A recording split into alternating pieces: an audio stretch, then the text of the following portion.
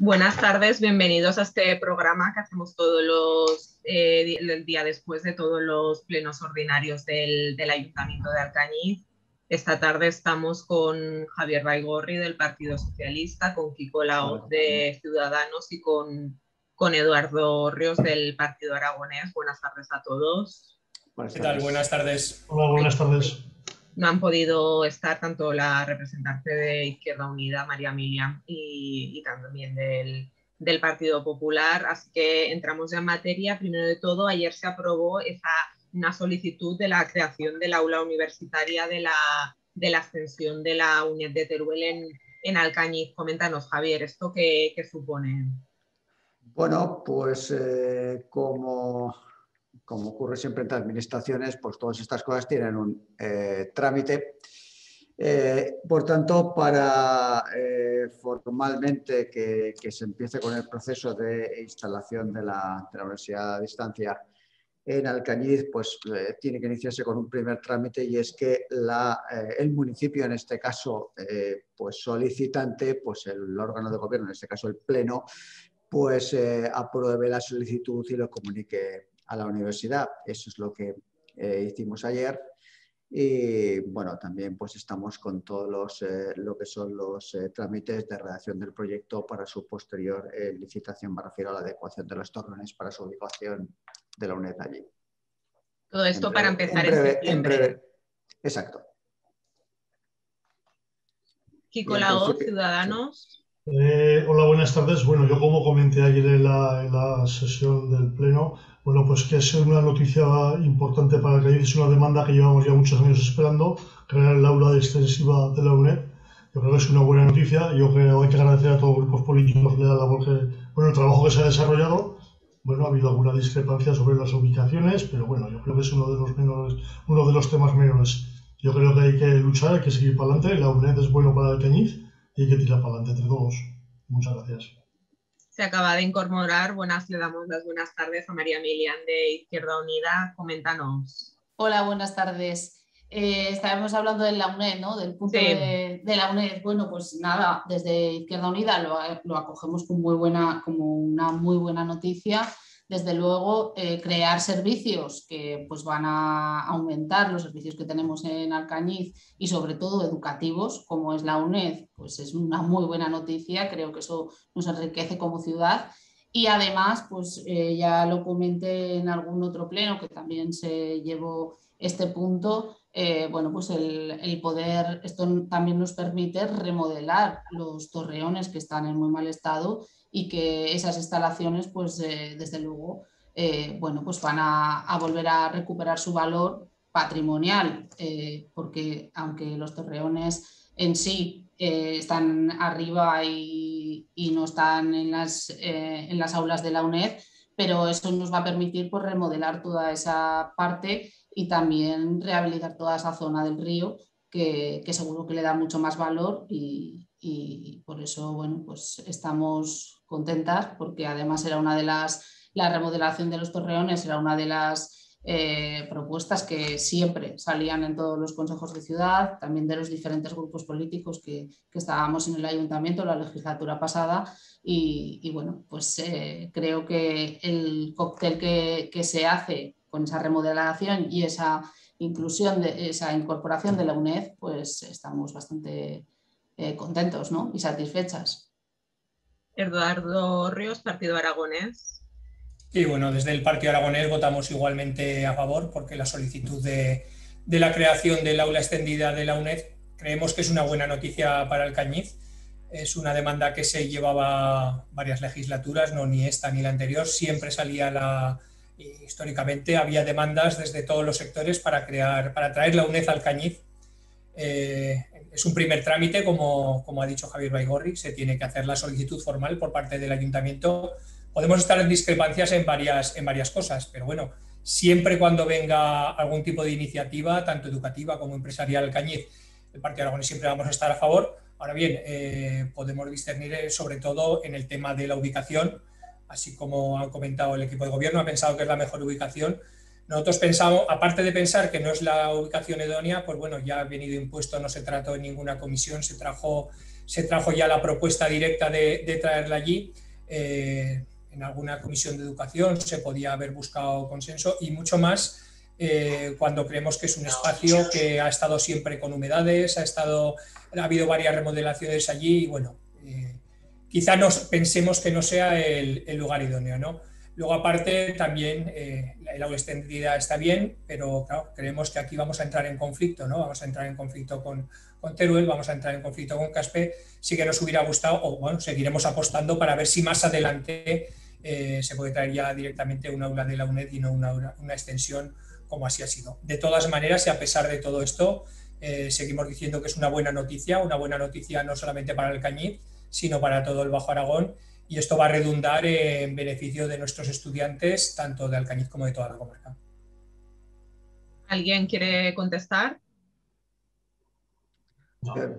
No, es que, a ver, esto es un trámite administrativo y por lo demás había consenso, eh, con lo cual eh, eh, al final lo que es el impacto es positivo. Yo creo que al final la discusión o el interés de todos es que el impacto formativo, y no solo eso, sino, a ver, una de las principales razones para la ubicación en los torreones eh, es doble. Por un lado, es una instalación que está ahí y que no está utilizada, y en segundo lugar, pues si quiera o no, pues su ubicación en el entorno del casco histórico, pues eh, en principio debería generar un efecto dinamizador de esa zona, cosa que siempre es importante.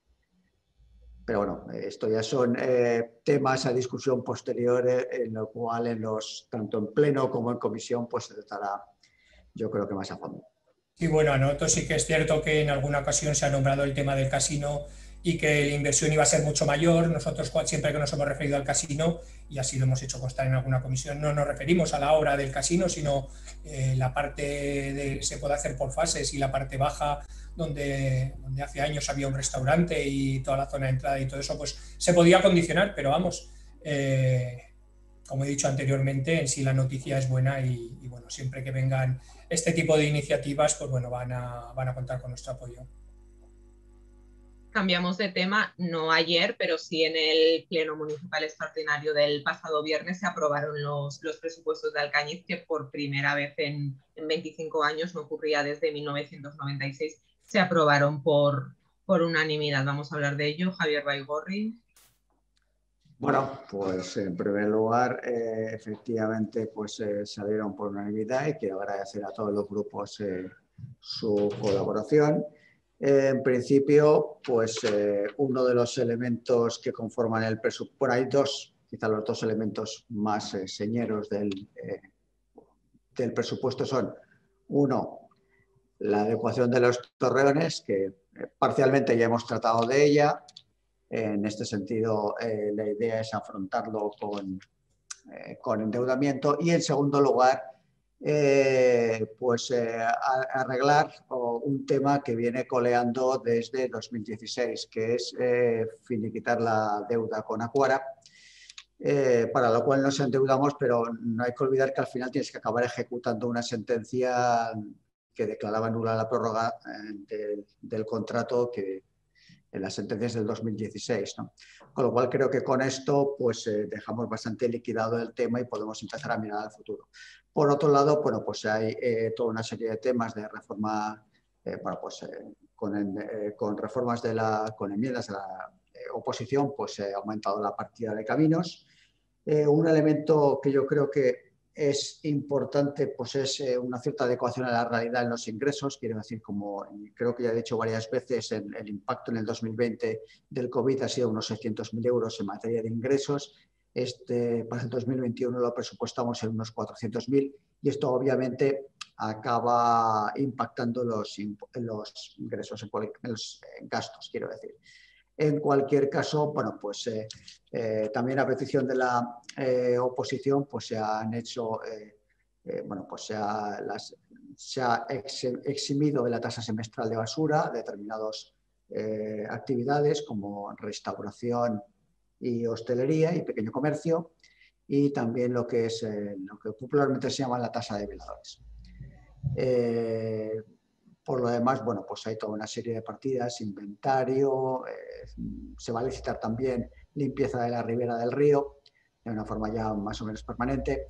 y con esto pues van siendo pequeños pasos para ir mejorando eh, lo que es la ciudad. En esto, pues nuevamente insisto, pues tampoco quiero extenderme para no afectar al resto de los compañeros y simplemente quiero agradecer al resto de los grupos por su actitud eh, cooperativa y su voto a favor.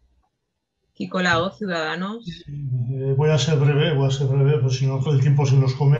Yo creo que son en la situación que estamos viviendo en Alcañiz, yo creo que es un momento complicado y agradecer en este caso a Javier Baigorri el haber aislado estos presupuestos. Y también quiero agradecer a, todo, a, todo el, a, a todos los equipos de la oposición y el equipo de gobierno el trabajo realizado durante las comisiones durante todo el año. Gracias a ellos han podido aprobar todos a favor, pues hay que trabajar por ello. De cara a las dos concejalías que yo regento, bueno, puedo decir que de cara a la policía, así a grosso modo se, bueno, se han sacado ahora dos plazas de policía local y va a salir también la plaza de subinspector. Estamos trabajando en diferentes partes de la calle y bueno, y referente a deportes, pues como veis, ha sido un año eh, de mucho trabajo. Voy a seguir por el mismo camino. Tenemos mucha faena que hacer y muchas cosas que hacer. Tampoco voy a explicar más. Muchas gracias. María Milian, Izquierda Unida. Sí, bueno, desde Izquierda Unida, pues eh, para nosotras eh, son unos presupuestos que desde luego nos satisfacen profundamente por tres por tres cosas principales, porque hay tres tipos de partidas que para nosotras son muy importantes. Una, las partidas que reflejan eh, nuestro acuerdo de, gobierno con el Partido Socialista y que desde luego nos permiten seguir trabajando por nuestra ciudad de manera activa en el equipo de gobierno. Otra, que dan respuestas a esas necesidades que genera el COVID eh, pues por ejemplo las ayudas de, bueno, a pymes y autónomos, eh, la ampliación de según qué servicios, por ejemplo la limpieza pues en, los colegios y en los centros educativos, que ha aumentado casi el doble.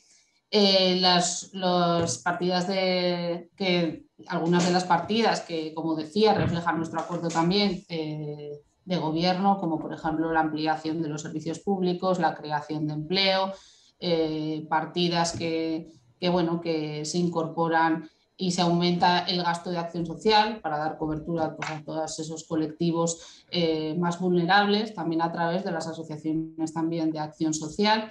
Y el tercer tipo de partidas son las partidas que desde luego nos van a seguir permitiendo desarrollar nuestro proyecto de ciudad, tanto en mis delegaciones como es en igualdad y en participación, como en el resto de delegaciones que, y, en, los acuerdos que tenemos, pues eso, de esta legislatura a futuro.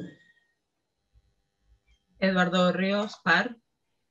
Sí, bueno, eh, yo creo que el aprobar los presupuestos por unanimidad es lo, que tocaba, ¿no? En las circunstancias en las que estamos. Ya lo dije, creo que es una, un, acto de responsabilidad política. Eh, la mayoría de las administraciones, las mayorías de los ayuntamientos así lo han hecho, siempre hay alguna excepción, pero la mayoría lo han aprobado por unanimidad, porque creo que en la mayoría de las administraciones hemos tenido una, sensibilidad especial con los, con los sectores más perjudicados.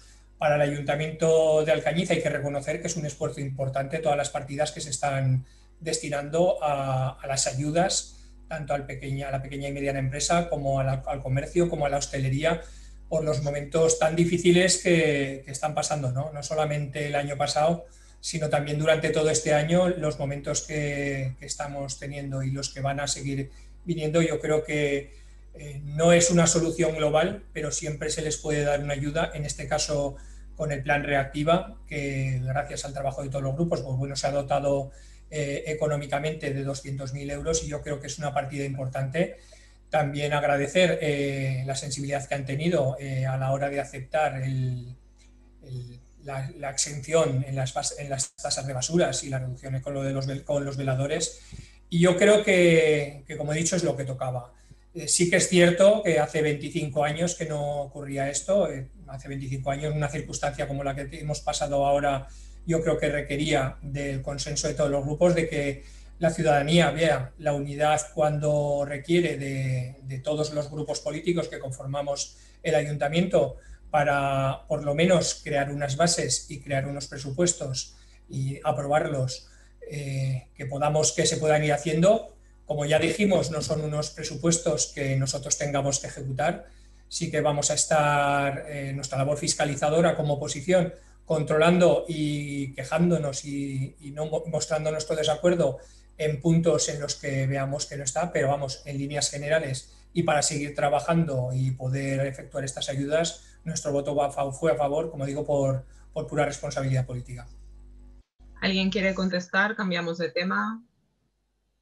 Yo, si queréis, en todo caso, yo creo que mejor se habla ahora de la moción que presentó el PAR y si sobra algo de tiempo ya podemos volver a Muy bien, nos quedan cinco minutos. Ayer el PAR presentó una moción de, para mejorar las condiciones de los profesionales del 061 del sector alpancañi. Coméntanos, Eduardo. Sí, bueno, es una demanda. Eh, aquí tengo que, felicitar a mi, a mi compañera y amiga Beatriz. Es muy insistente con todo el tema sanitario por su profesión y yo creo que está realizando un trabajo de seguimiento muy importante en varios, en varios temas. Uno de ellos es el 061 y aunque de reconocer, y así se dijo ayer, que no es responsabilidad del ayuntamiento y no podemos ejecutar, yo creo que como administración local es un, un servicio que se está dando en Alcañiz.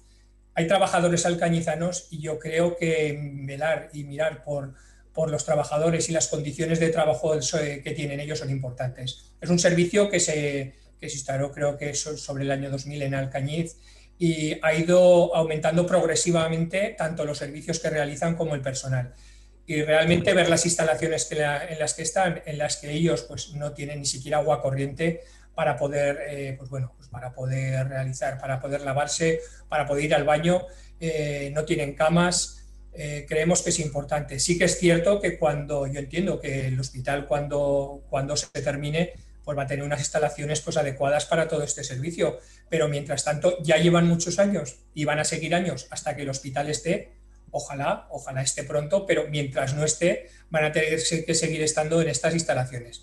Yo creo que como ayuntamiento tenemos que acoger las demandas también de los alcañizanos, de los sectores que se realizan en Alcañiz, y una demanda de ellos era instar al gobierno de Aragón a que se regularice esta situación, de que intenten buscar una, una ubicación adecuada que intenten esas eh, ambulancias que ahora mismo tienen que estar eh, sin ningún tipo de resguardo, pues que tengan como mínimo un sitio para resguardarse, para que no les dé el sol durante todo el día y, bueno, para que las condiciones que ellos, es un servicio que están dando eh, más en esta, en esta temporada y en este año que ha habido tanta con el COVID, tanta demanda de traslados, están trabajando sin descanso, pues bueno, yo creo que es de reconocimiento del trabajo que hagan, no solamente aplaudiéndoles cuando salen por la calle, sino como administración reclamando a una administración superior, como es el salud, que, intenten adecuar, adecuar las instalaciones que tienen. Agradecer a todos los grupos el apoyo que han tenido y espero que el ayuntamiento siga insistiendo ante el gobierno de Aragón para que estas instalaciones y la forma de trabajo que tienen pues sea adecuada.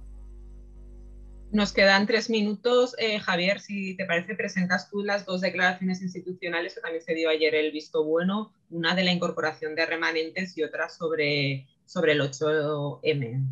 Eh, yo creo que casi mejor, si te parece, yo presento la de los remanentes y María que presente la, de, la del 8M. Muy bien. Dado que al final. Eh, en cualquier caso, vamos a ver, en cuanto a los remanentes, es una declaración institucional eh, que eh, se ha presentado en otras, en otras instituciones. Perdón.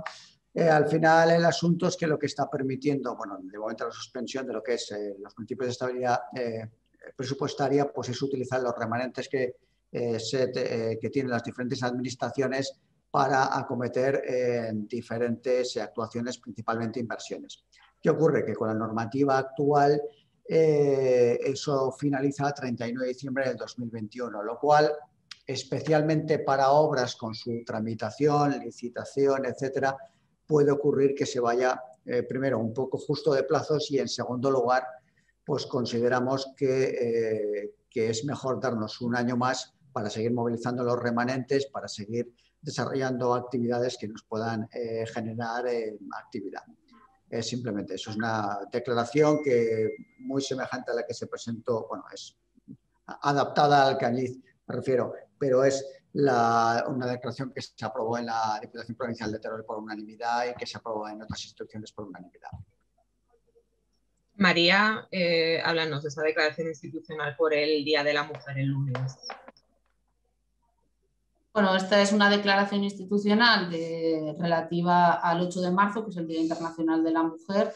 Eh, lo que viene a, decir es que el Ayuntamiento de Alcañiz pues, nos adherimos a, bueno, esta declaración que se, se presentó desde la FEM y que, bueno, de alguna manera que lo que reclamamos es la igualdad de derechos y responsabilidades entre hombres y mujeres en nuestra sociedad. Creo que es más importante que nunca eh, este 8 de marzo. Sabemos que va a ser muy complicado eh, bueno, pues que sea como otros años, de hecho no van a ser como otros años, porque las manifestaciones y las, y las concentraciones multitudinarias que venimos viendo estos últimos años no se van a producir este 8 de marzo, pero es verdad que este año pues todavía hay más motivos que nunca, porque además de los motivos que ya veníamos reclamando, eh, todas esas desigualdades que tenemos las mujeres eh, estos últimos años, pues los efectos de la pandemia eh, sobre la vida de las mujeres que, que ha producido, pues hay que añadir a todos esos que, quedaban. Desde luego, esta pandemia ha dejado claro que las protagonistas en los cuidados a todos los niveles han sido las mujeres, que las mujeres también han sido las protagonistas en el ámbito sociosanitario y sanitario y sobre todo la gran parte de los trabajos esenciales que mayoritariamente son precarios, pues también son eh, ejercidos por mujeres. Por lo tanto, Con eso nos quedamos. Muchísimas gracias, animo María. a que todo el mundo tiña de feminismo el, lunes en todo el planeta. Con ese mensaje nos despedimos. Muchas gracias a todos y hasta el próximo hasta luego. Buenas tardes. Hasta luego. Buenas tardes.